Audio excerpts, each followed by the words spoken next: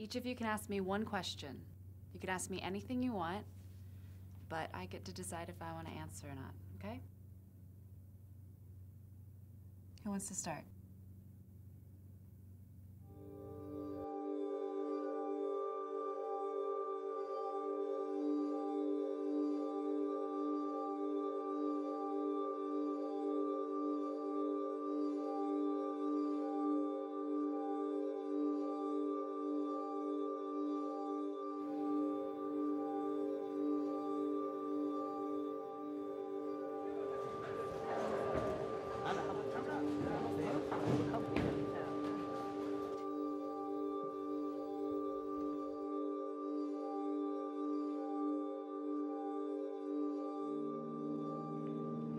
I'm living in Missoula now, but I'm not from here. How are you? So what do you need?